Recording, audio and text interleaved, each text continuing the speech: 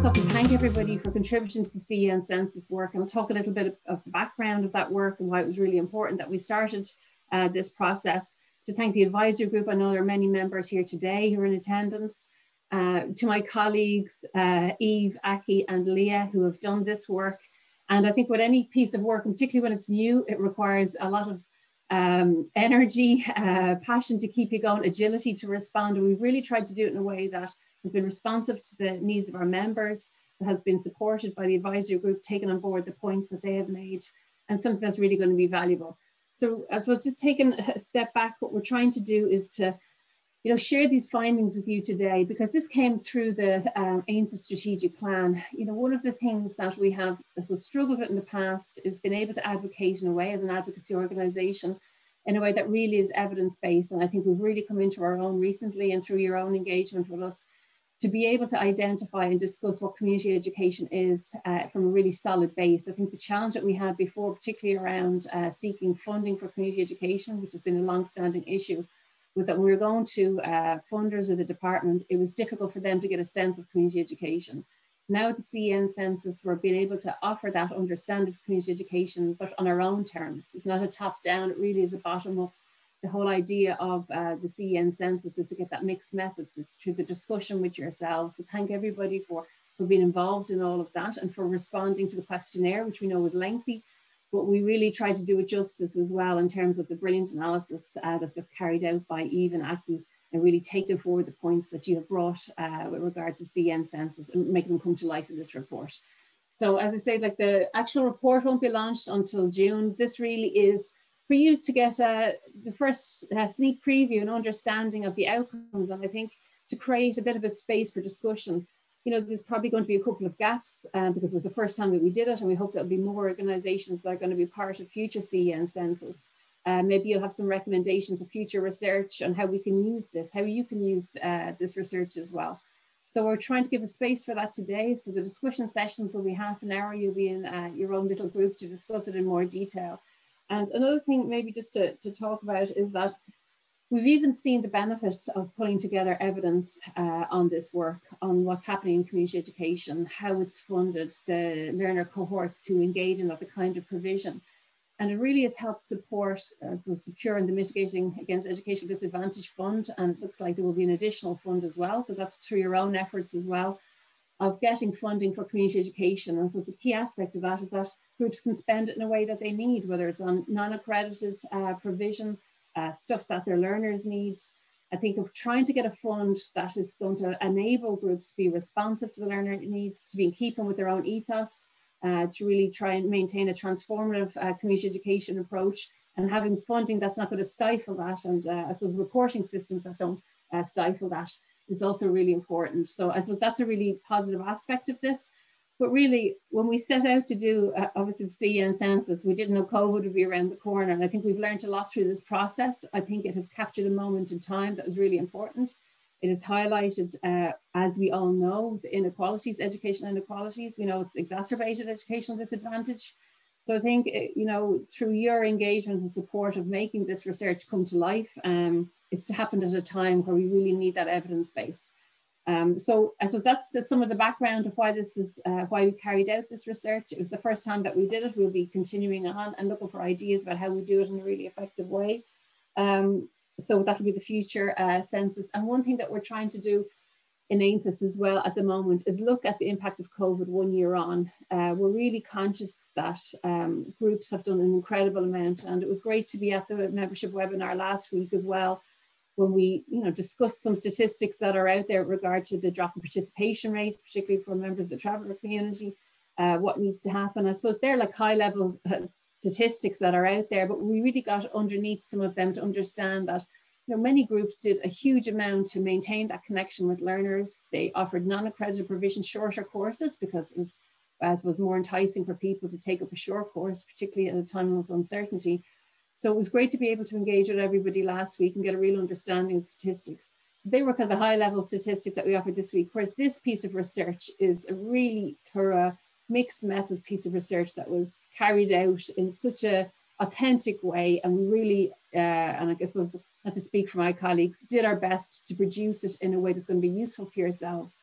And really, as part of the, as well, the thank you for that is having the space today for a really good discussion. So um, I'm going to hand over to my colleagues in a minute, but also I think it's important to hear from people who participated uh, in the study as well. So um, we're delighted that Lee McCarthy from Chef, who's also a member of the AONTAS board, is here today to describe his experience. I mean, nobody wants to be filling out more questionnaires and forms, but you know, we're really thankful that people participated um, in this research. So he's going to be giving in his experience of that. And I know like it's 21 years since the white paper on adult education and like just recently looking back at the um, chapter on community education, and so many of the issues still remain, and it's absolutely essential that I think there is a time now to really make change. I think um, of having the evidence base, I think with the FET strategy, the specific focus on community education framework, we can address the issues around uh, the funding aspect. So really when we looked at the this research, it is focusing on the non-statutory, as in page 113 of the white paper, I'm sure everybody knows it already, it's the non-statutory community education organisations who are predominantly members of the uh, CEN, the Community Education Network, um, as part of AONTAS. So that's really where the focus of this uh, research lies. And I suppose what we're trying to do is, you know, offer authentic, you know, uh, meaningful, useful knowledge that's going to be helpful to you. So we're interested in what you have to say about the research. Um, it's not published yet, so obviously everything that you say It'll have to be in keeping with the findings if you wanted something additional. But what it will do is give us an idea about recommendations, about future areas that we need to focus on with the CEN census as we broaden it out. So I think I'll, I'll stop there. Uh, we're going to be 20. I hope people will be able to stay. We want a lot of discussion. I want to really engage. I know people have great expertise and we'll have brilliant insights and we're really uh, relying on your participation today and so I'll hand over to my uh, colleague Eve Cobain, who led out in this research, and then Aki will do a piece with regard to the findings. So Eve, if you'd like to do the wizardry of sharing the screen. yeah, thanks so uh, much. So just to give you, I suppose, a brief um, outline of how the session is going to work um, and the findings. Um, first, we're going to go through a project overview, um, and then we'll look at the participant, participant profile of those who um, actually engaged in the census. I know so many of you did, so we obviously hugely appreciate that. And that's what's made this research um, so successful. Um, and then we'll, look, we'll look, also look at the courses and objectives um, that were that were um, outlined in the census, as well as funding streams. Before turning to look at the organisational impact of COVID-19, and Aki will will explore that, as well as the community education responses uh, to COVID-19 and the learner perspectives, which were captured through um, many learner surveys across the year. Um, before then finally looking at priorities for 2021. And between the, uh, the, the profile and kind of overview of the sector, we'll also have a brief kind of pause for, for dialogue and discussion on those findings. And then again, um, just at the end of the COVID-19 section. So as Niamh um, has already said, um, we, we, we really wanted to have this um, census as a kind of action out of the strategic plan. And really the goal of that was to provide the evidence necessary to promote a thriving community education sector. So that's something um, we very much hope um, we've made some progress towards. And also we're very much looking for um, uh, your input on that as we kind of look to, to kind of, you know, moving towards further iterations of the census in the future.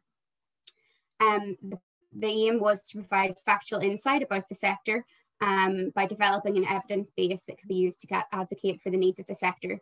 And as Niamh mentioned, um, 2020 was a unique year, um, as also was 2021, and in that we really wanted to capture um, a picture of the sector in that year, um, which was ultimately marked by COVID-19. So it became really valuable um, and key that we would capture the impact of that, that crisis as well. So this graphic here just provides um, really an overview of all the, the kind of the, the facets of the research. So um, the main facet would have been the CEN census, which so many of you engaged in, 76 um, responses um, to the census, uh, many of those, most of those which would have come from the CEN, but we also appreciated um, CEFA sharing that survey out um, to their groups as well. We also held 48 initial member consultations, um, and those were largely kind of a response to the immediate impact of COVID um, as we were kind of looking at um, the kind of shocks to the sector um, back in, about around this time last year and gathering data and feeding that um, into the department um, through the TES group as well. And Niamh was very active on that. Um, we also, as I mentioned, had um, a number of learner surveys, which were captured um, through largely the FET Learner um, forum, and a large number of community education um, learners also responded to those surveys. So we have 192 survey responses from community education learners specifically in total as well. And that was really valuable, um, obviously in capturing um, that learner voice, which is so critical um, to hear how learners have been coping. And we'll speak a bit more about how learners have fared over time um, during COVID-19 as well. We also, um, we also held three focus group discussions, two with practitioners and one with learners, and those were held at different points across the year as well. And then finally, we held five practitioner interviews, and those were an incredibly valuable source um, of information in terms of capturing, I suppose, the, the more, more nuanced um, impacts of COVID-19 that we couldn't quite capture in, um, in quantitative um, measures in the census. So just to give you a quick overview of um, the participant profile of those who, who did engage in the census this year, um, you can see that a large number of groups, um, 29 of the 76 groups, um, were from Dublin, and that does reflect our current membership in the AONTAS CEN. Um, and we're hoping um, that in future iterations that we will have um, a more kind of representative profile of, of the sector across Ireland. but we also had a large number, as you can see, from Tipperary, Cork and Donegal as well. So largely um, the, the uh, organisations that were surveyed in um, the CEN census last year were small organisations um, with up to 10 staff. And many of these groups um, also um, were working with small groups of learners intensively. So you can see there that um, many groups were working with up to 50 learners and very few groups were working with 500 or above learners. Um, and this, I think, is a really interesting finding, um, something that we haven't really had to date. Um, you can see here that last year, um, the, the number of females participating in community education is almost triple that of, of the males um, participating. Um, and I'm sure many of you will, will have many reasons as to why that might be, but I suppose some that we could think of, I suppose, is the flexible options as well as the childcare um, available in many community education settings. So I think that's a really important finding and it's something um, we might discuss a little more um, in a little more detail later. So I think this is another important piece um, around the profile of learners engaging in community education. And you can see here that um, there were huge, huge ranges of, of groups, social and economic groups um, engaging in community education, a really diverse um, set of learners um, that we're engaging, um, particularly the unemployed and socioeconomically disadvantaged learners were, were found to be engaging pretty much across the board with community education organisations, but it was also serving people with a disability, lone parents, migrants and travellers, and these were, these were just some of the groups, some other groups were also mentioned. So in terms of the provision um, in 2020 and 2019, um, you can see that there were a really wide range of both accredited and non-accredited courses on offer. Um, and you can see also that there was, you know, almost triple the number of non-accredited courses reported in this year. And there are a number of reasons, I suppose, why that might be. Um, as Niamh mentioned, uh, many courses were set up as well in response to COVID-19. So groups really showed agility in, in their ability to adapt and to set up um, supports for learners, and many of which were, were non-accredited courses. So just in terms of the objectives, um, we, we designated a number of um, course objectives and asked uh, participants if they, if they were engaging with these objectives. And you can see um, that these are broken up in, in terms of both accredited and non-accredited provision. So um, in terms of accredited provision, you can see that employability and upskilling feature really highly there, um, although a, a, lot of other objectives feature strongly as well. And then in terms of non-accredited provision, you can see that social inclusion, mental health and well-being, and learning to learn um, life skills are all are very highly um, featured for, for those non-accredited courses. Um, this is another um, interesting finding, um, I suppose, from the census, which is that um, there were a, a, large range of funding streams captured across nine government departments and other sources, particularly phil philanthropic sources, as well as learner fees. And then there were many, many individual sources recognised as well, some of those which also were government departments.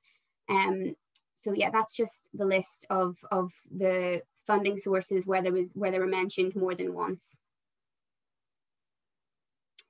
Um, in terms of unique funding streams, um, we were able to identify um, 22 groups with one funding stream and 25 groups with two funding streams. And then a large number of groups also um, had multiple other funding streams. So um, you can see here, uh, three groups had 10 and um, one group actually had uh, one group had 10 funding streams. So um, I might just pause for questions now before I hand over to Aki.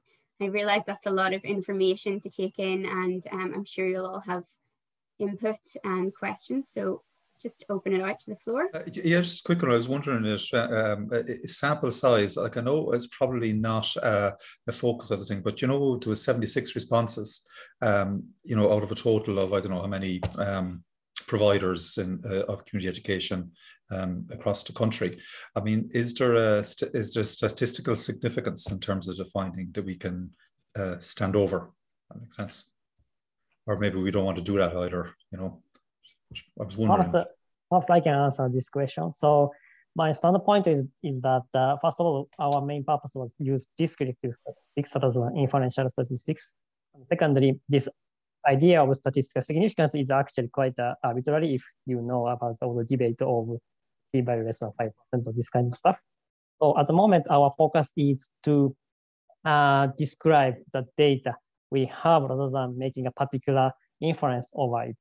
Um, of course, we could, for future, we could you know, use a statistical, uh, some kind of statistical test to see whether a particular hypothesis is significantly, uh, statistically significant or not. But at the moment, uh, we first prioritized describing the data we have.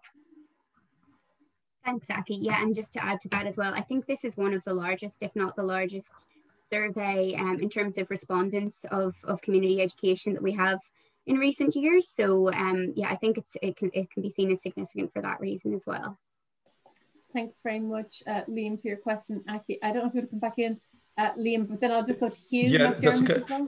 Just to understand it, it's not so much that I, I think we want to make uh, make a statistical report about it. It's just that we do make generalized uh, recommendations and uh, it's just uh, it, uh, is legitimate to make generalized recommendations is more my question um, yeah uh, okay so this is yeah about the question whether the sample we have is really representative of the entire uh, sector.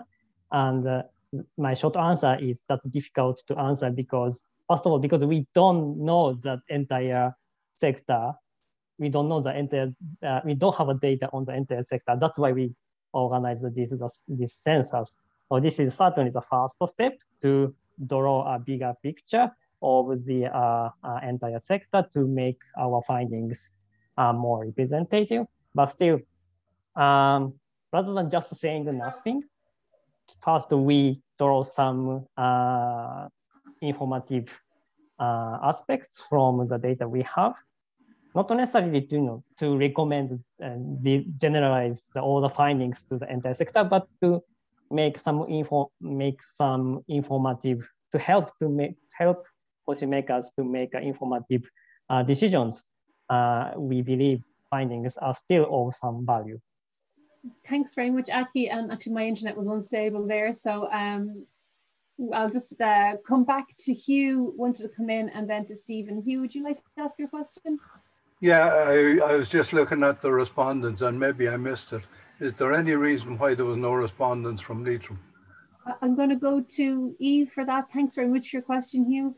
Yeah, Hugh, no, no reason as far as I can tell, no particular reason. Um, I think the, the respondents from each um, sort of county do reflect generally our membership um, in the in those areas, and we did find we were successful, um, particularly in the counties where where we have um, a larger number of members. So um, that's something that we're looking at, and we really would like to have participation across all counties um, in in future. Thank you. Thanks.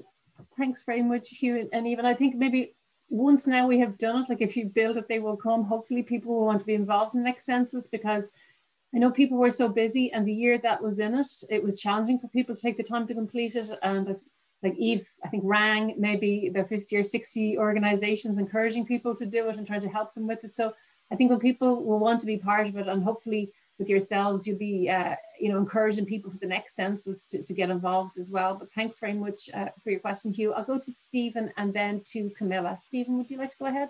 Um, the question I was going to ask was, do we have any com compare anything to compare the data to, either historically from previous years or from other countries um, such as Scotland, or um, countries that may have done their own research. It's just if we have something to compare it to, it might give us a better perspective. Thank you, Stephen. Before I go back to Eve, and I'm conscious of time, I would just ask Camilla to come in with her question and then go back to Eve because I know Aki is also uh, itching to show part two of the presentation, but I'm glad you took a space. So um, Camilla, would you like to come in with your question? I'll go back to Eve. Thanks.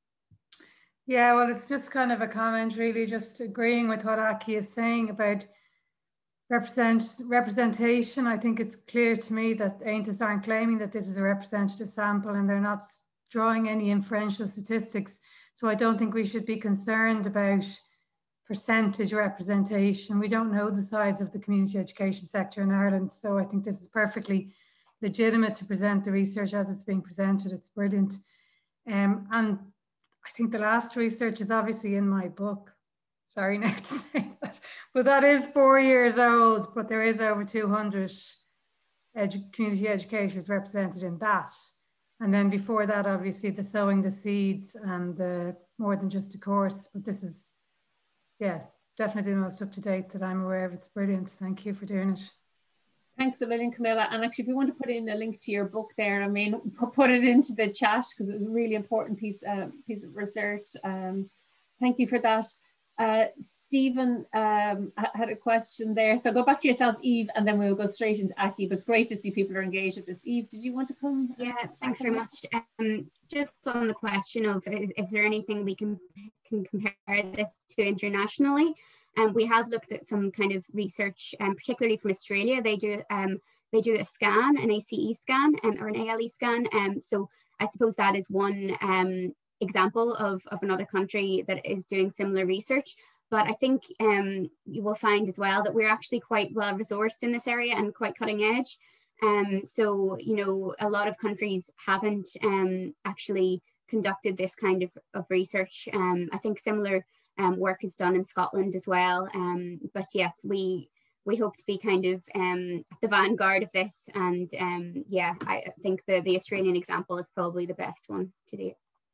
Great. Thanks, uh, Eve. Thanks, everybody, for your questions. And I'll just hand over to Aki now. Um, he's going to share his screen and give you part two of the presentation. Is that okay, Aki, if you want to go ahead? Yeah, thanks. Can you all see the slides? Yes, perfect. Yeah. So now let me focus on the, uh, the impact of COVID-19 on the community education sector. So first of all, the organizational uh, aspect.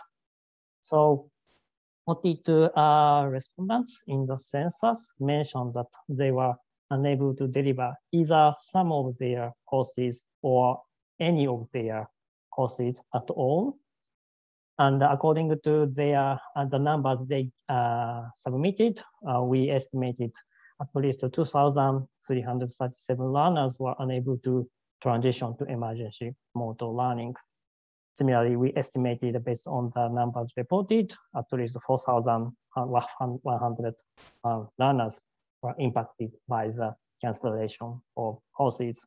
And finally, uh, 2,206 learners were waitlisted or unable to take up courses. One group said uh, while we did transition to online, not all courses were suitable for this, so therefore did not go ahead.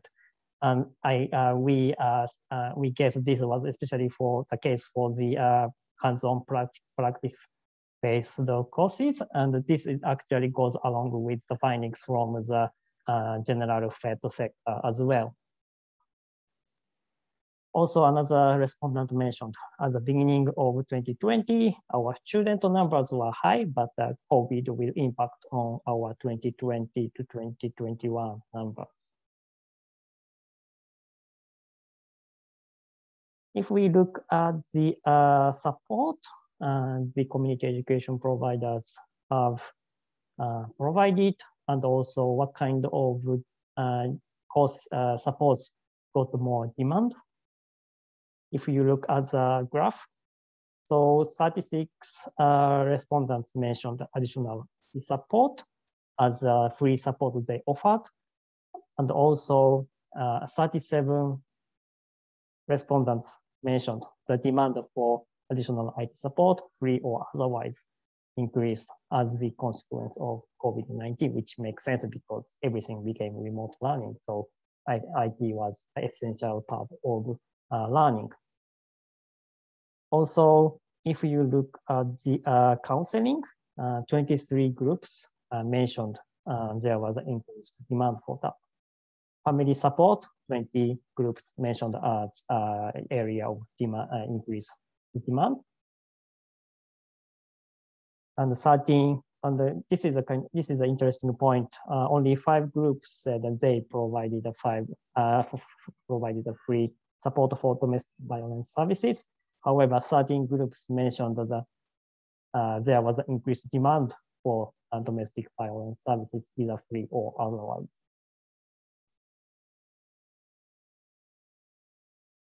Now, uh, if we look at what kind of impact the uh, COVID pandemic had on finances and income streams, there was a questions to ask whether they experienced a funding cut at the time by the time of the census, and also whether they were anticipating a further reduction in funding or income.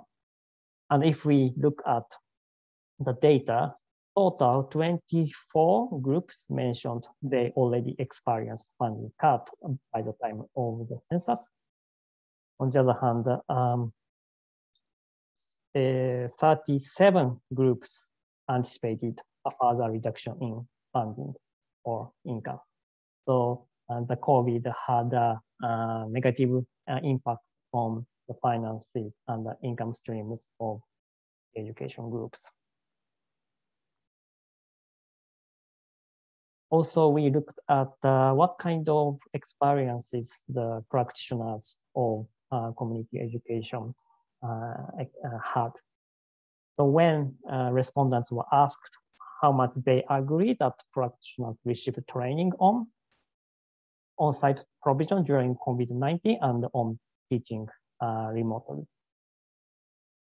More respondents agreed that practitioners received training on face-to-face provision during COVID-19 rather than teaching remotely.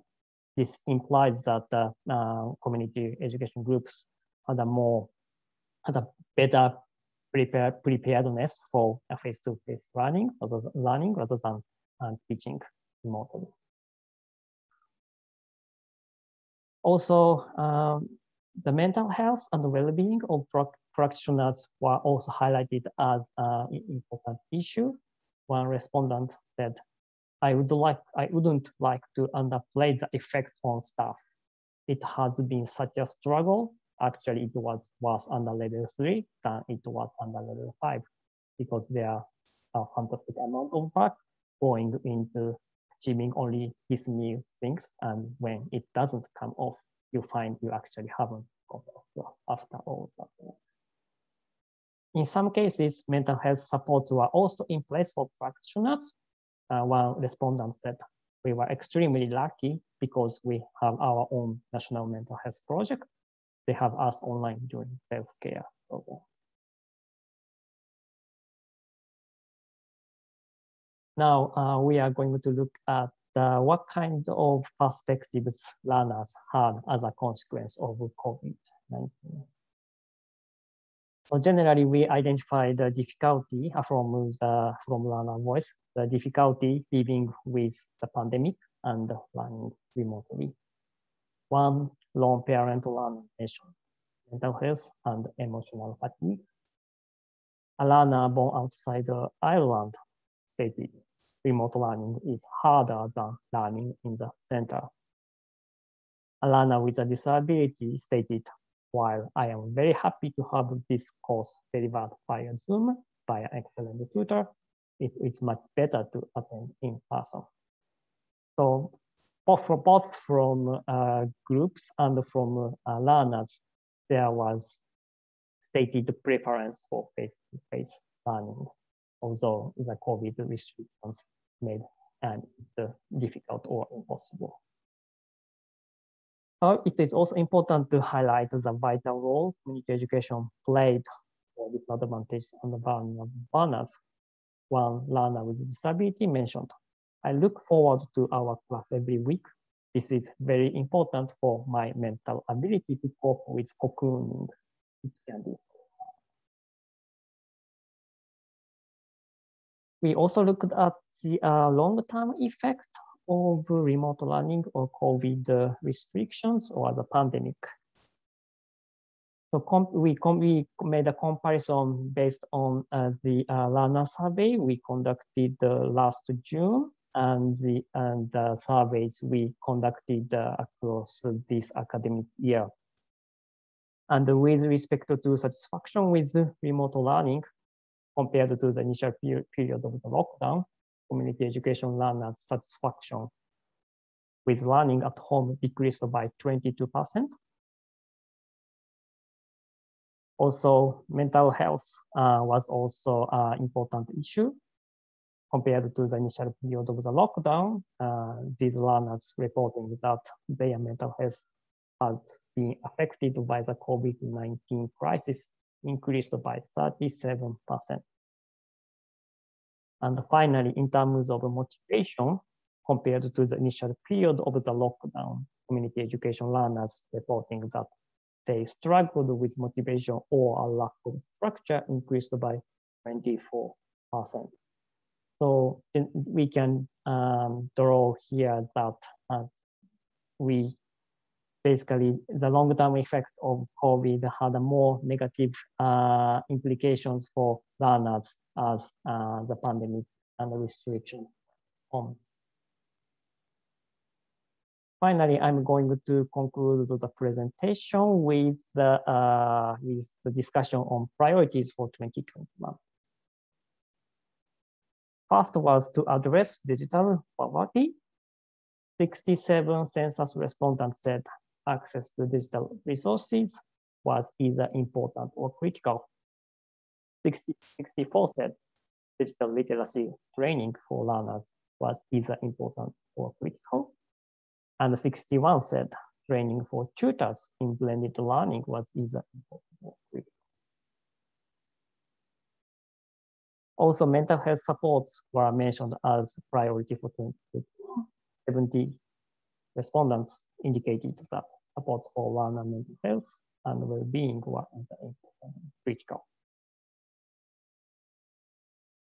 Supporting social cohesion and outreach are also mentioned. 66 said promoting social cohesion was either important or critical, and 52 said outreach was either important or critical. And uh, as we uh, out, as we advocated in uh, in another report that we discussed the uh, implications of mitigating against educational disadvantage funding um, in uh, in along this uh, context of the census, we also would like to renew the call for another iteration of MIND funding and in that report, we identified several areas for further funding. But uh, uh, at the moment, I am going to stop uh, presentation. Thanks very much, Aki. And I know people will probably have more questions um, as well. Uh, so it's much appreciated that uh, really uh, clear overview from yourself and Eve. I just want to hand over uh, to Liam McCarthy, uh, who participated in the CEN census, just to get your insights of being, um, you know, part of it and what it was like for you. So can I hand over to yourself, Liam? So Liam McCarthy uh, from SHEP and also a member of the Aontas board. If you'd like to share your reflections, Liam, thank you. Yeah, thanks, Niamh. Yeah, and I won't take too long if we're behind time. I mean, just uh, firstly, I'd like to thank, thank you for the opportunity to participate. And uh, I think it's been, um, I, I, suppose, seeing the, the feedback is one thing to, to you know participate from your in, individual perspective, but to see uh, sort of like a, uh, the commonality and the, I don't know the widespread um, echoes back in the research. I mean, is both, um, you know, I suppose it, it, it affirms something um, and so pulling it together was a huge achievement, just to say that to to Aontas and to those involved in it. I mean, so it was a big effort in the context where people are working from home and I mean, all of the projects people are engaging with in the survey are also struggling. I think it's a huge achievement. So grateful to be involved and a credit to the achievement. So things that, that strike me um, um, from that was the uh, widespread commonality of experience.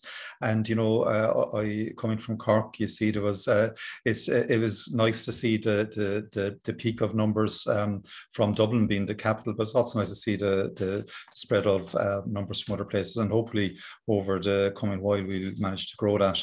Um, just to say, uh, you know, my question about the statistics uh, as reflection, I mean, um, I, I, got myself, well, I could get myself into hot water with that, but look, my, my sense of the, of the, it is that it, like the, it's hugely valuable.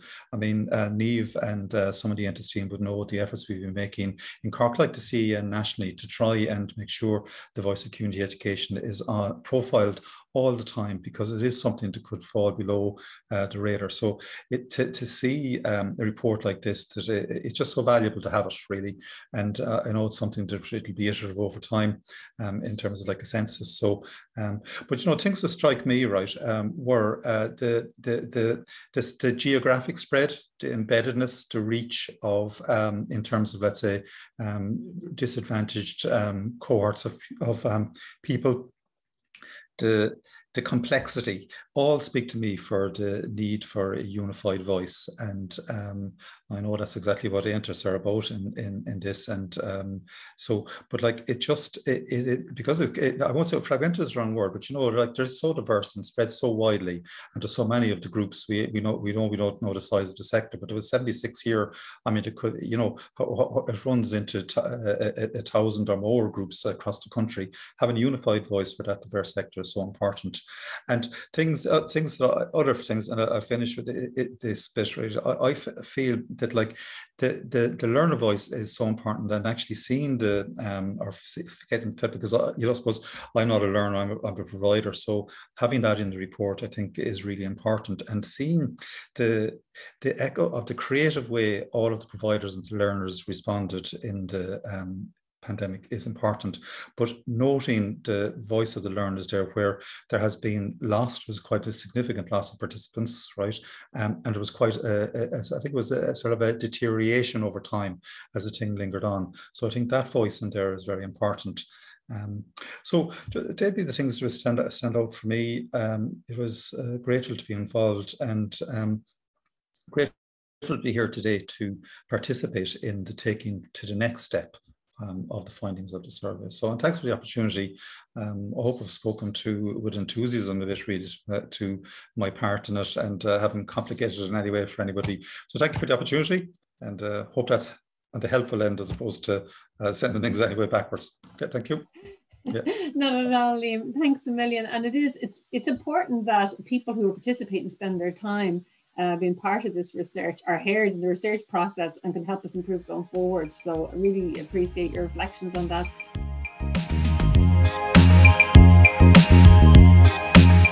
Uh, interesting discussion um, about a range of things from funding to how we can do outreach in the future to reach those hard to reach people who are now even harder to reach.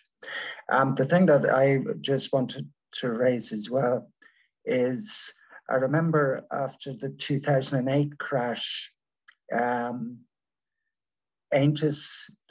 made the decision to go to the government departments and ask how can we help.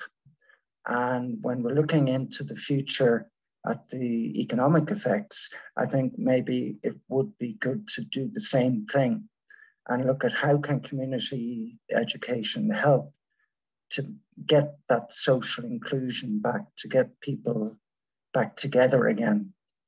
Um, and also, how can we prepare for the next pandemic, which the scientists are saying it's this isn't going to be a standalone once off. Um, they're going to be more, and we need to be prepared for.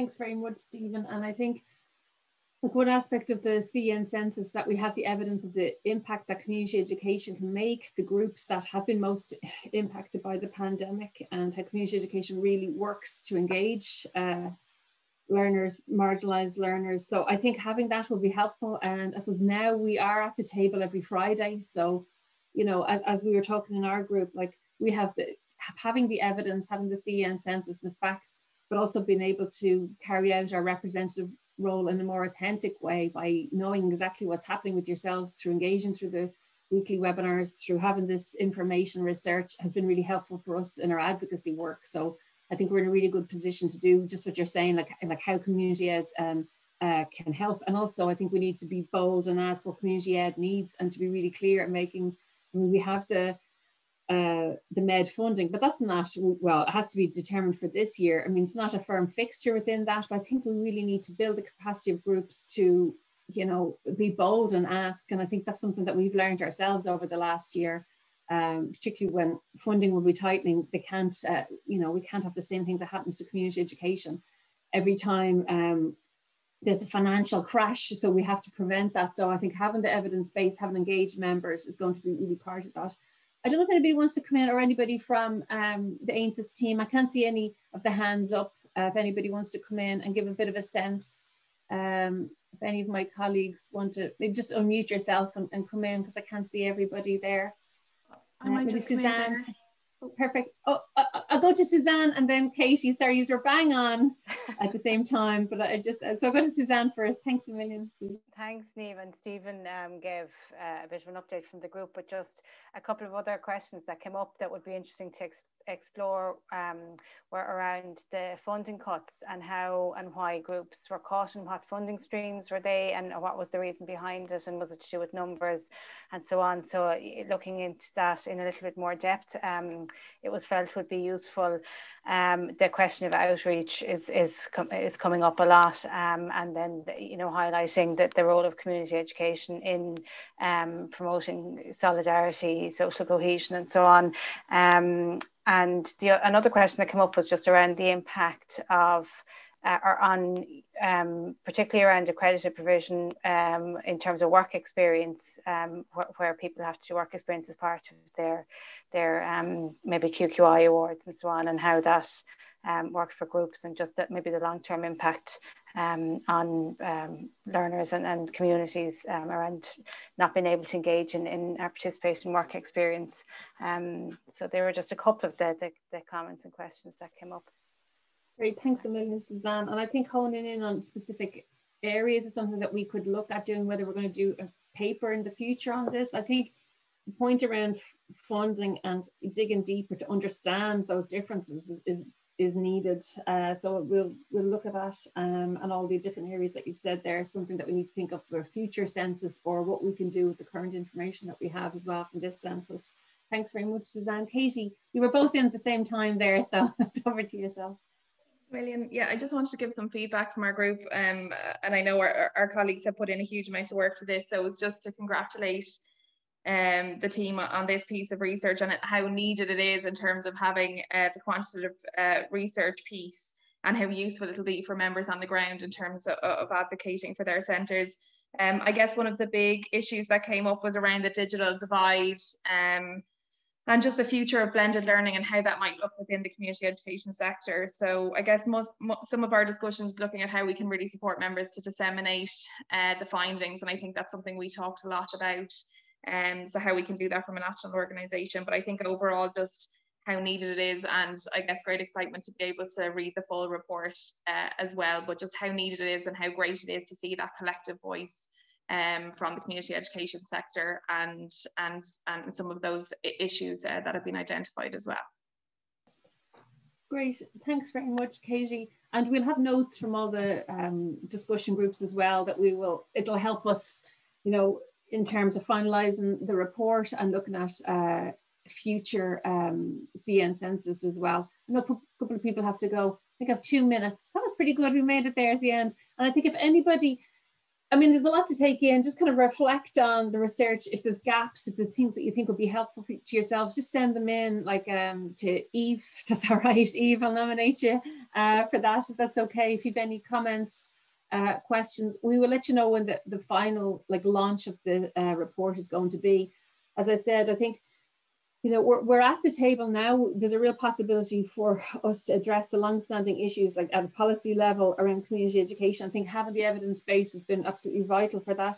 Um, we are looking at doing like a one year on COVID-19. I mentioned just briefly at the start um, of the webinar of looking at the impact on, on educational disadvantage because while at the start of the pandemic, when we were chairing the Mitigating Educational Disadvantage Working Group, I mean, there was a huge amount of support and everybody's really engaged. And I think we need to reinvigorate and highlight the issues because just because there was the med funding and different things that happened doesn't mean the issue is gone. So we're trying to keep that on the agenda. So we'll be in touch around what we're going to do um, around that um, because we know that there's going to be a huge amount that has to be carried out to address the impact of COVID and the points that have been raised around outreach. I mean, if ever there's a need for outreach, I know Stephen has brought it up and, and um, Suzanne was saying it there in her feedback as well, something that we're really conscious of. And for that to be funded, I mean, somebody has to do that work. So that's something that, you know, is coming back from our members.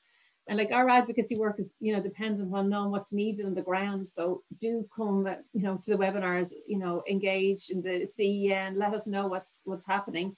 And I think we need to, you know, I think we've come very far in our, this was the research work that we have done. So just to I mean, Eve started, led out on this. That was when she started in eighth. It was like, here's a CEN census right now. Let's do this. And so to come to this point of have something that's people are really valuing and reflective. So that's really uh, your work, um, Eve and Leah, and then Aki coming in and providing brilliant expertise on statistics as well has been, you know, really helped to round out um, all of this. And obviously thanks to the advisory group We've had so many discussions. We were just saying there to get to this point, it all looks easy at this stage, but it was quite complex. So really appreciate all the expertise from everybody and for people taking the time, um, as Liam had said, of engaging in this, it's really appreciated. So I think this is the first uh, step in this. We'll be continuing on. We'll have a census uh, next year. Hopefully it'll be something like a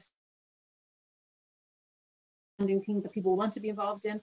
Hopefully people who are, you know, receive the med funding join finding AONTAS and CEN, I think we've, uh, from hearing people, we need to uh, build on the power of the collective and the support uh, that we've been able to offer each other each week. So I suppose encourage people, and I know Barry would be happy I said that, encourage people to become members, but it's not about that, it's about, you know, creating a strong united voice. And that was something that Liam was saying in his input as well. So I don't think I forgot anything there. I hope not. If any of my colleagues, the slides will be available uh, and there will be uh, questionnaire about, just give us a response about this webinar and how we can improve. So I want to thank everybody, um, all my colleagues and the AONTAS team and yourselves for engaging today. Really appreciate it. And we'll let you know the big fancy launches, but you got the sneak preview, you got to see all of it, uh, which is important. That's the most important thing for us. That's your uh, research. So I will close today and thank everybody for participating and see you all soon. Thanks a lot.